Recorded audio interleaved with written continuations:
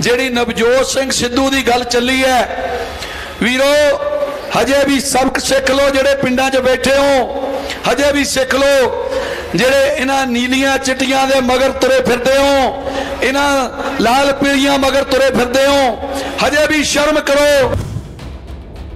ਪਰ ਇਹ ਕੀ ਕਰਦੇ ਨੇ ਰਾਜਨੀਤਿਕ ਲੋਕ, ਜਿਨ੍ਹਾਂ ਮਗਰ ਮੈਂ ਉਹ ਵੇਖ ਰਿਹਾ ਸੀ ਵੀਡੀਓ, ਬੜੀ ਬੇਸ਼ਰਮੀ ਨਾਲ ਕਈ ਲੋਕ ਦਰਖਤਾਂ ਤੇ ਚੜੇ ਹੋਏ ਨੇ। ਉਹ ਕਿਹਨੂੰ ਵੇਖਣ ਲਈ? ਜਿਹਨੂੰ ਕੋਈ ਪਰਵਾਹ ਨਹੀਂ ਲੋਕਾਂ ਦੀ, ਮਰਦੇ ਮਰ ਜਾਣ, ਉਹਦੀ ਤਾਜਬੋਸ਼ੀ ਉਹਨੂੰ ਜ਼ਰੂਰੀ ਹੈ। ਜਿਹੜਾ ਇਹ ਕਹਿੰਦਾ ਕਿ ਖੂਹ ਦੇ ਕੋਲ ਪਿਆਸਾ ਆਉਂਦਾ ਹੈ, ਪਿਆਸੇ ਕੋਲ ਖੂਹ ਨਹੀਂ ਜਾਂਦਾ ਹੈ। ਮੈਂ ਤੇ ਇਕੱਲੇ ਬੋਲਤਾ ਸੀ, ਪੀਟੀਸੀ ਦੇ ਬਥੇਰਾ ਚੱਲਿਆ ਹੋ, ਮੈਂ ਇਕੱਲੇ ਜਵਾਬ ਦੇ ਦਿੱਤਾ ਸੀ ਕਿ ਨਵਜੋਤ ਸਿੰਘ ਸਿੱਧੂ ਆਪਣੇ ਪੈਰਾਂ ਤੇ ਰਹਿ, ਤੂੰ ਐਡਾ ਵੱਡਾ ਖੂਹ ਨਹੀਂ ਬਣਿਆ ਹਲੇ। ਜਿੱਡਾ ਤੈਨੂੰ ਹੰਕਾਰ ਹੋ ਗਿਆ। ਤੈਨੂੰ ਅਸੀਂ ਦੱਸਾਂਗੇ 2022 ਚ ਕੌਣ ਪਿਆਸਾ ਹੈ, ਕੌਣ ਖੂਹ? ਤੈਨੂੰ ਦੱਸਾਂਗੇ ਜਦੋਂ ਤੂੰ ਪਿੰਡਾਂ ਚ ਆਏਗਾ, ਫਿਰ ਤੈਨੂੰ ਪਤਾ ਲੱਗ ਜੂ ਕੌਣ ਖੂਹ ਹੈ ਤੇ ਕੌਣ ਪਿਆਸਾ। ਸੁਨੀਲ ਜਾਖੜ ਕਹਿੰਦਾ ਬੜੀ ਬੇਸ਼ਰਮੀ ਨਾਲ। ਕਹਿੰਦਾ ਜਦੋਂ 5 ਜੂਨ ਨੂੰ ਕਾਨੂੰਨ ਆਏ, ਉਸ ਤੋਂ ਬਾਅਦ ਕਿਸਾਨਾਂ ਨੂੰ ਸੰਭਾਲ ਕੇ ਦਿੱਲੀ ਭੇਜਿਆ ਜੇ ਕੋਈ ਹੋਰ ਹੁੰਦਾ ਮੁੱਖ ਮੰਤਰੀ, ਤਾਂ ਇੱਥੇ ਮੋਰਚੇ ਲੱਗਣੇ ਸੀ। ਉਹ ਫਿਕਰ ਨਾ ਕਰ ਸੁਨੀਲ ਜਾਖੜਾ ਫਿਕਰ ਨਾ ਕਰ। ਤੇਰੇ ਵੀ ਮੋਰਚੇ ਲਾਵਾਂਗੇ। ਤੂੰ ਝੂਠ ਬੋਲ ਕੇ ਸਰਕਾਰ ਲਿਆਂਦੀ ਕਿ ਪੂਰਨ ਕਰਜ਼ਾ ਮਾਫ ਕਰਾਂਗੇ। ਉਹ ਚਾਹੇ ਸ਼ਾਹੂਕਾਰਾਂ ਦਾ ਹੋਵੇ, ਚਾਹੇ ਕੋਆਪਰੇਟਿਵ ਬੈਂਕਾਂ ਦਾ ਹੋਵੇ, ਚਾਹੇ ਪ੍ਰਾਈਵੇਟ ਬੈਂਕਾਂ ਦਾ ਹੋਵੇ, ਅੱਜ ਮੁੱਕਰ ਗਏ ਗੁਰਕਾ ਸਾਹਿਬ ਫੜ ਕੇ। ਬੇਈਮਾਨ ਹੋ ਤੁਸੀਂ। ਬੇਈਮਾਨ ਹੋ ਜਿੰਨੇ ਪੋਲੀਟੀਕਲ ਹੋ। ਝੂਠ ਬੋਲਦੇ ਹੋ, ਤਾਂ ਫਿਰ ਇੱਥੇ ਆਪਣੀ ਪਿੱਠ ਥੱਪਤ ਪਾਉਨੇ ਹੋ ਕਿ ਅਸੀਂ ਦਿੱਲੀ ਨੂੰ ਭੇਜਤਾ ਕਿਸਾਨ ਐਡਾ ਕਮਲਾ ਨਹੀਂ, ਜਿਹਨੂੰ ਤੁਸੀਂ ਭੇਜੋਗੇ, ਕਿਸਾਨ ਤੁਹਾਨੂੰ ਮੋੜਨਾ ਵੀ ਜਾਣਦਾ ਹੈ। ਸੋਚ ਵਿਚਾਰ ਕੇ ਬਿਆਨ ਦਿਆ ਕਰੋ। ਜਿਵੇਂ ਕੱਲ ਨਵਜੋਤ ਸਿੰਘ ਸਿੱਧੂ ਨੇ ਬਿਆਨ ਦਿੱਤਾ, ਉਹਨੂੰ ਭੁਗਤਣਾ ਪੈ ਰਿਹਾ ਤਾਂ ਫਿਰ ਸਟੇਜਾਂ ਤੋਂ ਬੋਲਣਾ ਹਰੇਕ ਨੂੰ ਆਉਂਦਾ ਹੈ। ਪਰ ਮੈਂ ਕਹਾਂ, ਸਿਆਣਾ ਉਹ ਹੈ, ਜਿਹੜਾ ਹਰ ਵਿਚਾਰਧਾਰਾ ਨੂੰ ਧਿਆਨ 'ਚ ਰੱਖ ਕੇ ਬੋਲੇ। ਬਾਕੀ ਆ ਕਿਰਪਾ ਕਰੋ ਇਹਨਾਂ ਪੋਲੀਟੀਕਲ ਪਾਰਟੀਆਂ ਨੂੰ ਛੱਡ ਦਿਓ। ਆ ਜਿਹੜੇ ਆ ਜਿਹੜੇ ਉੱਥੇ ਰੈਲੀਆਂ ਤੇ ਬੱਸਾਂ ਪਰ ਪਰ ਜਾਂਦੇ ਹੋ, ਮਰ ਜਾਓ ਨਾ ਪਿੱਛੇ। ਬਸ਼ਰਮੋ ਮਰ ਜਾਓ। ਕਿਸੇ ਨੇ ਨਹੀਂ ਪੁੱਛਣਾ ਤੁਹਾਨੂੰ। ਕਿਸੇ ਨੇ ਨਹੀਂ ਪੁੱਛਣਾ। ਇੱਥੇ ਆ ਜਾਓ, ਅੰਦੋਲਨ ਚ ਆ ਜਾਓ। ਇੱਥੇ ਤੁਹਾਡੇ ਨਾਲ ਖੜਾ ਪੂਰਾ ਪੰਜਾਬ ਖੜਾ, ਸੰਯੁਕਤ ਮੋਰਚਾ ਖੜਾ ਹੈ। ਤੁਹਾਨੂੰ ਤੱਤੀ ਬਾਹ ਵੀ ਲੱਗੂ ਤਾਂ ਇਹ ਮੋਰਚਾ ਖੜਾ ਹੈ। ਸਭ ਤੋਂ ਪਹਿਲੇ ਜਿੰਨੇ ਕਿਸਾਨ ਵੀਰ ਬੈਠੇ ਨੇ, ਮਾਤਾਵਾਂ, ਭੈਣਾਂ ਸਾਰੇ ਗੱਜ ਕੇ ਬੁਲਾਓ। ਵਾਹਿਗੁਰੂ ਜੀ ਕਾ ਖਾਲਸਾ, ਵਾਹਿਗੁਰੂ ਜੀ ਕੀ ਫਤਿਹ। ਕਿਸਾਨ ਵੀਰੋ, ਜਿਸ ਤਰ੍ਹਾਂ ਪ੍ਰੈਸ ਵਾਲੇ ਵੀਰ ਨੇ ਕਿਹਾ ਕਿ ਮੈਨੂੰ ਸੰਯੁਕਤ ਕਿਸਾਨ ਮੋਰਚੇ ਦਾ ਸਾਥ ਚਾਹੀਦਾ ਹੈ। ਬਿਲਕੁਲ ਸੰਯੁਕਤ ਕਿਸਾਨ ਮੋਰਚਾ ਪ੍ਰੈਸ ਵਾਲੇ ਵੀਰਾਂ ਦੇ ਨਾਲ ਖੜਾ, ਦੀਵਾਰ ਬਣ ਕੇ ਖੜਾ ਹੈ। ਕੋਈ ਇਹਨਾਂ ਨਾਲ ਜ਼ਿਆਦਤੀ ਨਹੀਂ ਕਰ ਸਕੂਗਾ। ਬਿਲਕੁਲ ਤਕੜੇ ਹੋ ਕੇ ਖੜੇ ਆ ਮੈਂ ਤੁਹਾਨੂੰ ਦੱਸਣਾ ਚਾਹੁੰਦਾ ਕਿ ਉਸ ਦਿਨ ਮੈਂ ਨਾਲ ਗਿਆ ਸੀ। ਪਹਿਲੇ ਦਿਨ ਜਿਸ ਦਿਨ ਇਹ ਵਾਕਿਆ ਹੋਇਆ ਔਰ ਪ੍ਰੈਸ ਸਾਰੀ ਨੂੰ ਪੁਲਿਸ ਨੇ ਬਾਹਰ ਇੱਕ ਤਰ੍ਹਾਂ ਕੈਦ ਕਰ ਰੱਖਿਆ ਸੀ, ਜਿੱਥੇ ਆਪਣੀ ਸੰਸਦ ਲੱਗੀ, ਉੱਥੇ ਆਉਣ ਨਹੀਂ ਦਿੱਤਾ ਜਾ ਰਿਹਾ ਸੀ। ਆਪਾਂ ਜਦੋਜਹਿਦ ਕਰਕੇ ਪੁਲਿਸ ਨਾਲ ਲੜ ਕੇ ਸਾਰੀ ਪ੍ਰੈਸ ਨੂੰ ਉੱਥੇ ਲਿਆਂਦਾ ਤੇ ਸਾਨੂੰ ਇਸ ਵਾਕਿਆ ਬਾਰੇ ਸ਼ਾਮ ਨੂੰ ਪਤਾ ਲੱਗਿਆ। ਅਸੀਂ ਉਦੋਂ ਹੀ ਆਪਣੇ ਜਿੰਨੇ ਪ੍ਰੈਸ ਵਾਲੇ ਵੀਰ ਆ ਉਹਨਾਂ ਨੂੰ ਆਖ ਦਿੱਤਾ ਸੀ ਕਿ ਬਿਲਕੁਲ ਘਬਰਾਉਣ ਦੀ ਲੋੜ ਨਹੀਂ, ਤੁਹਾਡੇ ਨਾਲ ਦੀਵਾਰ ਬਣ ਕੇ ਖੜੇ ਆ, ਤੁਹਾਡੇ ਨਾਲ ਇੱਕਦਮ ਤਕੜੇ ਹੋ ਕੇ ਖੜੇ ਆ। ਬਿਲਕੁਲ ਨਹੀਂ ਘਬਰਾਉਣਾ ਇਹ ਗੋਦੀ ਮੀਡੀਆ ਸ਼ਰਾਰਤਾਂ ਕਰੇਗਾ, ਪਰ ਕੋਈ ਘਬਰਾਉਣ ਦੀ ਲੋੜ ਨਹੀਂ। ਜੇ ਇਹ ਸਰਕਾਰ ਦੇ ਨੱਥ ਪਾ ਸਕਦੇ ਆ, ਤਾਂ ਫਿਰ ਇਹ ਜਿਹੜੇ ਛੋਟੇ ਮੋਟੇ ਚੱਕੀ ਫਿਰਦੇ ਨੇ ਕੈਮਰੇ, ਗੋਦੀ ਮੀਡੀਆ ਵਾਲੇ ਇਹਨਾਂ ਦੇ ਵੀ ਨੱਥ ਪਾਉਣੀ ਜਾਣਦੇ ਆ। ਬਾਕੀ ਪ੍ਰੈਸ ਨਹੀਂ ਜਿਹੜੀ ਸਾਡਾ ਸਾਥ ਦੇ ਰਹੀ ਹੈ ਲੋਕਲ ਪ੍ਰੈਸ, ਉਹਨਾਂ ਦੇ ਅਸੀਂ ਧੰਨਵਾਦੀ ਆ। ਉਹਨਾਂ ਦੇ ਕੋਟਨ ਕੋਟ ਧੰਨਵਾਦੀ ਆ ਕਿਉਂਕਿ ਸਾਡੇ ਇਸ ਮੋਰਚੇ ਨੂੰ ਅਗਰ ਬਲ ਦਿੱਤਾ ਜਿਸ ਤਰ੍ਹਾਂ ਵੀਰ ਕਹਿ ਗਿਆ ਕਿ ਆਪਣੇ ਮੋਬਾਈਲ ਚੱਕ ਲਓ, ਇਹ ਹਥਿਆਰ ਹੈ ਤੁਹਾਡਾ। ਇਸ ਤਰੀਕੇ ਨਾਲ ਇਹ ਜਦੋਂ ਲਾਈਵ ਹੁੰਦੇ ਨੇ, ਤੁਹਾਡੀ ਗੱਲ ਦੇਸ਼ਾਂ ਵਿਦੇਸ਼ਾਂ 'ਚ ਪਹੁੰਚਦੀ ਹੈ, ਤਾਂ ਇਹਨਾਂ ਦੇ ਨਾਲ ਦੀਵਾਰ ਬਣ ਕੇ ਖੜੇ ਆ ਸੋ ਇਸ ਤੋਂ ਅਗਲੀ ਗੱਲ ਮੈਂ ਬੇਨਤੀ ਕਰਾਂਗਾ ਕਿ ਵੇਖੋ ਗੱਲ ਚੱਲ ਰਹੀ ਸੀ ਕਿ ਅੱਜ ਦੇ ਹਾਲਾਤ ਕੀ ਨੇ? ਜਿਹੜੀ ਨਵਜੋਤ ਸਿੰਘ ਸਿੱਧੂ ਦੀ ਗੱਲ ਚੱਲੀ ਹੈ। ਵੀਰੋ, ਹਜੇ ਵੀ ਸਬਕ ਸਿੱਖ ਲਓ ਜਿਹੜੇ ਪਿੰਡਾਂ 'ਚ ਬੈਠੇ ਹੋ। ਹਜੇ ਵੀ ਸਿੱਖ ਲਓ ਜਿਹੜੇ ਇਹਨਾਂ ਨੀਲੀਆਂ ਚਿੱਟੀਆਂ ਦੇ ਮਗਰ ਤੁਰੇ ਫਿਰਦੇ ਹੋ।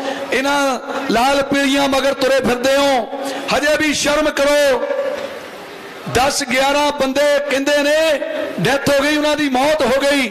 ਐਡਾ ਵੱਡਾ ਐਕਸੀਡੈਂਟ ਹੁੰਦਾ ਹੈ, ਪਰ ਉਹਨਾਂ ਨੂੰ ਆਪਣੀ ਤਾਜਪੋਸ਼ੀ ਨਾ ਮੋਹ ਹੈ।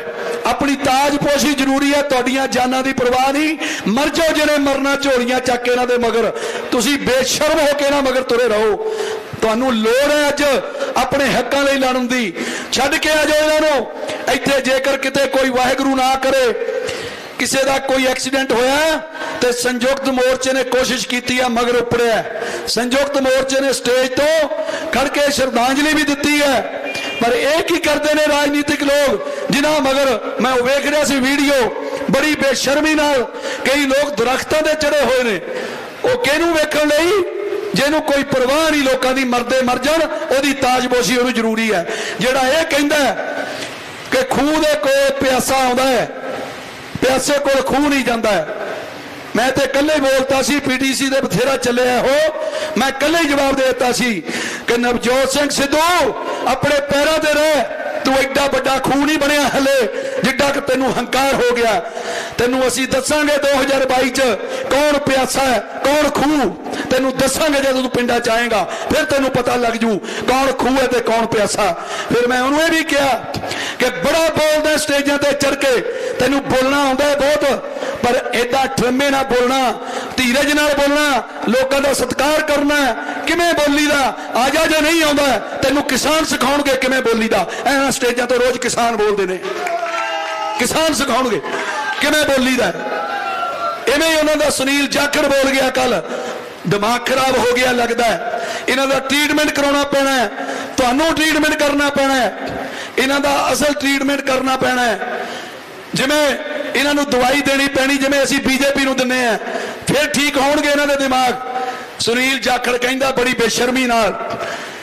ਕਹਿੰਦਾ, ਜਦੋਂ 5 ਜੂਨ ਨੂੰ ਕਾਨੂੰਨ ਆਏ, ਉਸ ਤੋਂ ਬਾਅਦ ਕਿਸਾਨਾਂ ਨੂੰ ਸੰਭਾਲ ਕੇ ਦਿੱਲੀ ਭੇਜਿਆ ਜੇ ਕੋਈ ਹੋਰ ਹੁੰਦਾ ਮੁੱਖ ਮੰਤਰੀ, ਤਾਂ ਇੱਥੇ ਮੋਰਚੇ ਲੱਗਣੇ ਸੀ। ਉਹ ਫਿਕਰ ਨਾ ਕਰ, ਸੁਨੀਲ ਜਾਖੜਾ, ਫਿਕਰ ਨਾ ਕਰ। ਤੇਰੇ ਵੀ ਮੋਰਚੇ ਲਾਵਾਂਗੇ।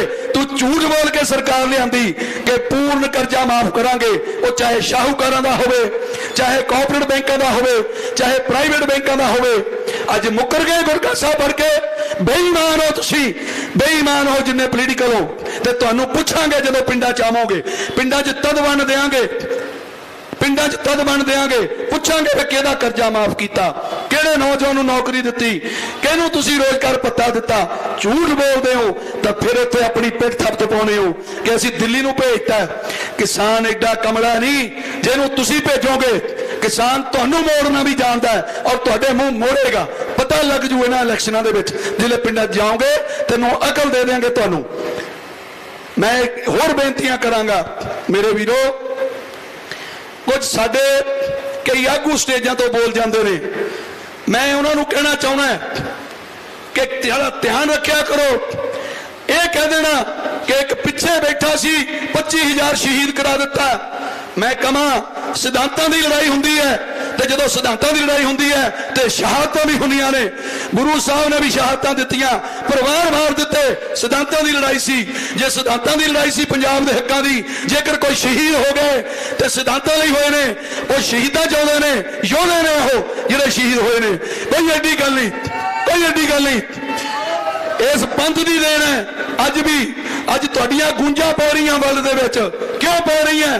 ਇਸ ਪੰਥ ਦੀ ਦੇਣ ਹੈ, ਇਸ ਕੌਮ ਦੀ ਦੇਣ ਹੈ ਕਿ ਅੱਜ ਭੁੱਖੇ ਦੇ ਢਿੱਡ ਭਰਦੇ ਨੇ ਨੰਗਿਆਂ ਦੇ ਪਿੰਡ ਦੇ ਕੱਪੜਾ ਪਾਉਂਦੇ ਨੇ ਤੇ ਮਰਦਿਆਂ ਨੂੰ ਸਾਹ ਦਿੰਦੇ ਨੇ। ਇਹ ਉਹ ਪੰਥ ਦੀ ਕੌਮ ਹੈ ਜਿਹੜੀ ਸਾਹ ਦਿੰਦੀ ਹੈ ਲੋਕਾਂ ਨੂੰ, ਮਰਦਿਆਂ ਨੂੰ। ਜਿਉਂਦਿਆਂ ਕਰਦੀ ਹੈ ਮਰਦਿਆਂ ਨੂੰ। ਤੇ ਫਿਰ ਕਿਹੜੀ ਗੱਲ ਹੈ? ਜੇ ਕੋਈ ਹੋਰ ਬੋਲੇ, ਸ਼ਰਾਰਤੀ ਬੋਲੇ, ਉਹਦੇ ਨਾਲ ਜੋੜ ਕੇ ਕਿਸੇ ਹੋਰ ਸਾਡੇ ਕਿਸੇ ਸੰਤ ਸਿਪਾਹੀ ਨੂੰ ਕਹਿ ਦੇਣਾ, ਮੰਦੇ ਚੰਗੇ ਸ਼ਬਦ, ਤੇ ਮੈਂ ਕਹੂੰ ਆਪਣੇ ਮੂੰਹ ਤੇ ਲਗਾਮ ਦੇਣ ਉਹ ਆਗੂ। ਜੇ ਕਿਸੇ ਨੂੰ ਕਹਿਣੇ ਇਦਾਂ ਦੇ ਸ਼ਬਦ, ਤਾਂ ਨਹੀਂ ਕਹਿਣੇ ਬਣਦੇ। ਅਗਲਾ ਪਿਛਲਾ ਇਤਿਹਾਸ ਨਹੀਂ ਕੱਢ ਕੇ ਲਿਆਉਣਾ ਚਾਹੀਦਾ। ਮੌਕੇ ਦੇ ਹਾਲਾਤ ਹੁੰਦੇ ਨੇ, ਕਈ ਵਾਰੀ ਇਦਾਂ ਦੇ ਹਾਲਾਤ ਪੈਦਾ ਹੋ ਜਾਂਦੇ ਨੇ ਕਿ ਸ਼ਹਾਦਤਾਂ ਦੇਣੀਆਂ ਪੈਂਦੀਆਂ ਨੇ। ਕੋਈ ਗੱਲ ਨਹੀਂ, ਅਸੀਂ ਵੀ ਤਿਆਰ ਬੈਠੇ ਆ ਲਵੇ ਮੋਦੀ ਸ਼ਹਾਦਤਾਂ ਇੱਕ ਤੇ ਸੁਣਾਂਗੇ ਜੇ ਮੋਦੀ ਨੂੰ ਸ਼ਹਾਦਤਾਂ ਚਾਹੀਆਂ, ਚਾਹੀਦੀਆਂ ਤੇ ਇੱਕ ਤੇ ਸੁਣਾਂਗੇ ਕੋਈ ਘਬਰਾਉਣ ਦੀ ਗੱਲ ਨਹੀਂ। ਐਵੇਂ ਡਰ ਕੇ ਕੱਚੇ ਪਿੱਲੇ ਬਿਆਨ ਨਾ ਦੇਣ ਲੱਪਿਆ ਕਰੋ। ਐਵੇਂ ਨਾ ਗੁੰਮਰਾਹ ਕੇ ਉਲਟੇ ਸਿੱਧੇ ਬਿਆਨ ਦੇਣ ਲੱਪਿਆ ਕਰੋ। ਪੰਥ ਦੀ ਇਸ ਅੰਦੋਲਨ 'ਚ ਕਿੰਨੀ ਦੇਣ ਹੈ, ਉਹਨੂੰ ਵੀ ਯਾਦ ਰੱਖਿਆ ਕਰੋ। ਕਿ ਜੇਕਰ ਲੰਗਰ ਲੱਗੇ ਹੋਏ ਨੇ, ਪੰਥ ਦੀ ਦੇਣ ਹੈ। ਜੇ ਅੱਜ ਤੁਹਾਡੇ ਆਪਣੇ ਜੂਨੀਅਰ ਦੇ ਲੰਗਰ ਨੇ ਵੀ, ਤਾਂ ਵੀ ਇਹ ਜਿਹੜੀ ਸੇਵਾ ਆ ਰਹੀ ਹੈ, ਇਹ ਵੀ ਪੰਥ ਦੀ ਦੇਣ ਹੈ। ਇਹ ਵੀ ਬਾਬੇ ਨਾਨਕ ਨੇ ਜੋ ਲੰਗਰ ਚਲਾਇਆ ਸੀ, ਉਹਦੀ ਦੇਣ ਇਹ ਪੰਥ ਦੀ ਸੋਚ ਹੈ ਕਿ ਆਪਾਂ ਭੁੱਖੇ ਢਿੱਡ ਨਹੀਂ ਕਿਸੇ ਨੂੰ ਸੌਣ ਦੇਣਾ। ਇਹ ਪੰਥ ਦੀ ਸੋਚ ਹੈ ਕਿ ਨੰਗੇ ਪਿੰਡ ਦੇ ਕੱਪੜਾ ਪਾਉਣਾ। ਇਹ ਪੰਥ ਦੀ ਸੋਚ ਹੈ ਕਿ ਮਰਦਿਆਂ ਨੂੰ ਸਾਹ ਦੇਣਾ। ਇਹ ਪੰਥ ਦੀ ਸੋਚ ਹੈ ਅਨਿਆਂ ਨਹੀਂ ਹੋਣ ਦੇਣਾ। ਇਹ ਪੰਥ ਦੀ ਸੋਚ ਹੈ, ਜ਼ਬਰ ਨਹੀਂ ਹੋਣ ਦੇਣਾ। ਇਹ ਪੰਥ ਦੀ ਸੋਚ ਹੈ ਕਿ ਜਾਬਰਾਂ ਦਾ ਮੂੰਹ ਮੋੜਨਾ। ਇਹ ਪੰਥ ਦੀ ਸੋਚ ਹੈ। ਫਿਰ ਇਹ ਸੋਚ ਨੂੰ ਲੈ ਕੇ ਖੜੇ ਆ ਇਸ ਯੋਧੇ ਬਣ ਕੇ ਖੜੇ ਆ ਤੇ ਫਿਰ ਪਰਵਾਹ ਨਹੀਂ। ਜੇ ਕੋਈ ਕੁੱਤਾ ਬਿੱਲਾ ਬਾਹਰੋਂ ਬੋਲੀ ਜਾਵੇ, ਪਰਵਾਹ ਨਹੀਂ। ਪਰ ਆਪਣੇ ਕਿਸੇ ਸੰਤ ਸਿਪਾਹੀ ਨੂੰ ਉਹਨਾਂ ਨਾਲ ਜੋੜ ਕੇ ਪੁੱਠੀ ਗੱਲ ਕਰਨੀ, ਤਾਂ ਫਿਰ ਮੈਂ ਕਹਾਂਗਾ, ਆਪਣੇ ਆਗੂਆਂ ਨੂੰ ਜ਼ੁਬਾਨ ਤੇ ਲਗਾਮ ਦੇਣੀ ਪਊਗੀ। ਸੋਚ ਵਿਚਾਰ ਕੇ ਬਿਆਨ ਦਿਆ ਕਰੋ। ਜਿਵੇਂ ਕੱਲ ਨਵਜੋਤ ਸਿੰਘ ਸਿੱਧੂ ਨੇ ਬਿਆਨ ਦਿੱਤਾ, ਉਹਨੂੰ ਭੁਗਤਣਾ ਪੈ ਰਿਹਾ ਹੈ। ਤਾਂ ਫਿਰ ਸਟੇਜਾਂ ਤੋਂ ਬੋਲਣਾ ਹਰੇਕ ਨੂੰ ਆਉਂਦਾ ਹੈ। ਪਰ ਮੈਂ ਕਹਾਂ, ਸਿਆਣਾ ਉਹ ਹੈ ਜਿਹੜਾ ਹਰ ਵਿਚਾਰਧਾਰਾ ਨੂੰ ਧਿਆਨ 'ਚ ਰੱਖ ਕੇ ਬੋਲੇ। ਸਿਆਣਾ ਉਹ ਹੈ ਜਿਹੜਾ ਏਕਤਾ ਦੀ ਗੱਲ ਕਰੇ ਬਖਰੇਵੇਂ ਦੀ ਗੱਲ ਨਾ ਕਰੇ। ਸਿਆਣਾ ਉਹ ਹੈ। ਮੈਂ ਕਹਾਂਗਾ, ਅਸੀਂ ਬਹੁਤ ਸਿਆਣੇ ਨਹੀਂ ਕਿ ਛੋਟਾ ਬੱਚਾ ਕੋਈ ਆ ਕੇ ਮਾਈਕ ਤੇ ਸਿਆਣੀ ਗੱਲ ਕਰੇ ਸਾਤੋਂ ਵੱਧ ਸਿਆਣਾ ਮੈਂ ਬਹੁਤ ਵਾਰੀ ਕਿਹਾ, ਵਾਲ ਚਿੱਟੇ ਹੋਣ ਨਾਲ ਸਿਆਣਾ ਨਹੀਂ ਹੁੰਦਾ। ਵਾਲ ਚਿੱਟੇ ਹੋਣ ਨਾਲ ਬੁੜਾ ਹੁੰਦਾ ਹੈ, ਬਜ਼ੁਰਗ ਹੁੰਦਾ ਹੈ। ਉਹਦਾ ਸਤਿਕਾਰ ਕਰਨਾ ਬਣਦਾ ਹੈ। ਪਰ ਸਿਆਣਾ ਉਹ ਹੈ ਜਿਹੜਾ ਸਿਆਣੀ ਗੱਲ ਕਰੇ, ਜਿਹੜਾ ਸਿਆਣੀ ਗੱਲ ਕਰੇ। ਭਾਵੇਂ ਛੋਟਾ ਬੱਚਾ ਕਿਉਂ ਨਾ ਹੋਵੇ। ਇਸ ਕਰਕੇ ਮੇਰੇ ਵੀਰੋ, ਇਹਨਾਂ ਗੱਲਾਂ ਦਾ ਧਿਆਨ ਰੱਖਿਆ ਕਰੋ ਤੇ ਬਾਕੀ ਆ ਕਿਰਪਾ ਕਰੋ। ਇਹਨਾਂ ਪੋਲੀਟੀਕਲ ਪਾਰਟੀਆਂ ਨੂੰ ਛੱਡ ਦਿਓ। ਆ ਜਿਹੜੇ ਆ ਜਿਹੜੇ ਇੱਥੇ ਰੈਲੀਆਂ ਤੇ ਬੱਸਾਂ ਪਰ ਪਰ ਜਾਂਦੇ ਹੋ, ਮਰ ਜਾਓ ਨਾ ਪਿੱਛੇ। ਬਸ਼ਰਮੋ ਮਰ ਜਾਓ। ਕਿਸੇ ਨੇ ਨਹੀਂ ਪੁੱਛਣਾ ਤੁਹਾਨੂੰ। ਕਿਸੇ ਨੇ ਨਹੀਂ ਪੁੱਛਣਾ। ਇੱਥੇ ਆ ਜਾਓ, ਅੰਦੋਲਨ ਚ ਆ ਜਾਓ। ਇੱਥੇ ਤੁਹਾਡੇ ਨਾਲ ਖੜਾ ਪੂਰਾ ਪੰਜਾਬ ਖੜਾ, ਸੰਯੁਕਤ ਮੋਰਚਾ ਖੜਾ ਤੁਹਾਨੂੰ ਤੱਤੀ ਬਾਹ ਵੀ ਲੱਗੂ ਤੇ ਇਹ ਮੋਰਚਾ ਖੜਾ ਤੁਹਾਡਾ ਸ਼ਹੀਦਾਂ 'ਚ ਨਾ ਹੋਣਾ, ਜੇ ਉੱਥੇ ਮਰਨਾ ਇਹਨਾਂ ਰਾਜਨੀਤਿਕ ਲੋਕਾਂ ਲਈ ਕਿਸੇ ਕੁੱਤੇ ਨੇ ਨਹੀਂ ਪੁੱਛਣਾ ਤੁਹਾਨੂੰ। ਕੁੱਤਿਆਂ ਵਾਲੀ ਮੌਤ ਮਰਨਾ ਤਾਂ ਫੇਰ ਇਹਨਾਂ ਦੇ ਮਗਰ ਜਾਓ, ਮਰੋ। ਮਰੋ ਫੇਰ ਇਹਨਾਂ ਦੇ ਮਗਰ। ਜੇ ਸ਼ਹੀਦ ਬਣਨਾ ਤਾਂ ਫਿਰ ਇੱਥੇ ਆਓ। ਸ਼ਹੀਦ ਬਣਨਾ ਫਿਰ ਅੰਦੋਲਨ ਚ ਆਓ, ਸ਼ਹੀਦ ਬਣਨਾ ਤੇ ਜਬਰ ਸਰਕਾਰ ਨਾਲ ਲੜੋ, ਸ਼ਹੀਦ ਬਣਨਾ ਤੇ ਆਪਣੇ ਹੱਕਾਂ ਲਈ ਲੜੋ, ਸ਼ਹੀਦ ਬਣਨਾ ਆਪਣੀ ਕੌਮ ਲਈ ਲੜੋ, ਆਪਣੀ ਕੌਮ ਲਈ ਲੜੋ। ਇਸ ਕਰਕੇ ਤਕੜੇ ਹੋ ਕੇ, ਯੋਧੇ ਬਣ ਕੇ ਇਸ ਅੰਦੋਲਨ ਚ ਆਓ, ਇਹਨਾਂ ਦੇ ਮਗਰ ਜਾਣਾ ਛੱਡ ਦਿਓ ਚੋਲੀਆਂ ਚੱਕ ਕੇ, ਉਹ ਬੇਨਤੀ ਕਰਦੇ ਤੁਹਾਨੂੰ, ਦਿੱਲੀ ਵੱਲ ਨੂੰ ਕੂਚ ਕਰੋ, ਲਾ ਦਿਓ ਜਾਨ, ਮੈਂ ਕਹਿੰਦਾ ਆਉਣ ਵਾਲੀਆਂ ਪੁਸ਼ਤਾਂ ਇਤਿਹਾਸ ਲਿਖਿਆ ਜਾਣਾ ਹੈ। ਅੱਜ ਇਤਿਹਾਸ ਪੜ੍ਹਿਆ ਜਾਂਦਾ ਹੈ। ਗੁਰੂ ਗੋਬਿੰਦ ਸਿੰਘ ਮਹਾਰਾਜ ਦਾ ਇਤਿਹਾਸ ਪੜ੍ਹਿਆ ਜਾਂਦਾ ਹੈ। ਅੱਜ ਇਤਿਹਾਸ ਪੜ੍ਹਿਆ ਜਾਂਦਾ ਹੈ। ਬਾਬਾ ਬੰਦਾ ਸਿੰਘ ਬਹਾਦਰ ਦਾ ਇਤਿਹਾਸ ਪੜ੍ਹਿਆ ਜਾਂਦਾ ਹੈ। ਅੱਜ ਇਤਿਹਾਸ ਪੜ੍ਹਿਆ ਜਾਂਦਾ ਹੈ। ਮਹਾਰਾਜਾ ਰਣਜੀਤ ਸਿੰਘ ਦਾ ਪੜ੍ਹਿਆ ਜਾਂਦਾ ਹੈ। ਅੱਜ ਇਤਿਹਾਸ ਪੜ੍ਹਿਆ ਜਾਂਦਾ ਹੈ। ਭਗਤ ਸਿੰਘ ਊਧਮ ਸਿੰਘ ਦਾ ਇਤਿਹਾਸ ਪੜ੍ਹਿਆ ਜਾਂਦਾ ਹੈ। ਤੇ ਫਿਰ ਮੈਂ ਗੱਲ ਕਵਾਂ ਇਹਨਾਂ ਚੋਰਾਂ ਦਾ ਇਤਿਹਾਸ ਕਿਸੇ ਨੇ ਨਹੀਂ ਪੜ੍ਹਨਾ ਅੱਜ ਇਹਨਾਂ ਦੇ ਮਗਰ ਤੁਰੇ ਫਿਰਦੇ ਹੋ। ਇਤਿਹਾਸ ਪੜਿਆ ਜਾਣਾ ਇਸ ਅੰਦੋਲਨ ਦਾ ਪੜਿਆ ਜਾਣਾ, ਇਤਿਹਾਸ ਪੜਿਆ ਜਾਣਾ, ਇਹਨਾਂ ਯੋਧਿਆਂ ਦਾ ਪੜਿਆ ਜਾਣਾ, ਤਾਂ ਜੇ ਯੋਧਿਆਂ 'ਚ ਸ਼ਾਮਲ ਹੋਣਾ, ਤੇ ਫਿਰ ਦਿੱਲੀ ਵੱਲ ਆ ਜਾਓ, ਤਾਂ ਫਿਰ ਇਤਿਹਾਸਕਾਰ ਲਿਖੂਗਾ ਕਿ ਕਿਹੜਾ ਕਿਹੜਾ ਯੋਧਾ ਇਸ ਜੇ ਦੇ ਜੰਗ ਦੇ ਵਿੱਚ ਸ਼ਹੀਦ ਹੋਇਆ। ਸੋ ਮੈਂ ਜ਼ਿਆਦਾ ਸਮਾਂ ਨਾ ਲਵਾਂ, ਸ਼ਕਤੀ ਸਾਹਿਬ ਖੜੇ ਹੋ ਗਏ ਨੇ। ਮੈਂ ਇੰਨੀਆਂ ਕੁ ਬੇਨਤੀਆਂ ਕਰਨੀਆਂ ਸੀ, ਕਿਰਪਾ ਕਰਿਆ ਕਰੋ, ਤਕੜੇ ਹੋ ਕੇ ਰਹੋ, ਚੜ੍ਹਦੀ ਕਲਾ 'ਚ ਰਹੋ, ਪੰਜ ਚਾਰ ਨਾਰੇ ਲਾਉਣੇ ਨੇ, ਤਕੜੇ ਹੋ ਕੇ ਲਾਇਓ। ਕਿਸਾਨ ਮਜ਼ਦੂਰ ਏਕਤਾ ਉਹ ਪਿੱਛੇ ਵਾਲੇ ਏਕਤਾ ਚ ਹੈ ਨਹੀਂ ਬਈ ਕੀ ਗੱਲ ਹੈ ਤੁਹਾਨੂੰ ਕਿਸਾਨ ਮਜ਼ਦੂਰ ਏਕਤਾ ਕਿਸਾਨ ਮਜ਼ਦੂਰ ਏਕਤਾ ਨਰਿੰਦਰ ਮੋਦੀ ਬੀਜੇਪੀ ਸਰਕਾਰ ਬੋਲੇ ਸੋ ਨਿਹਾਲ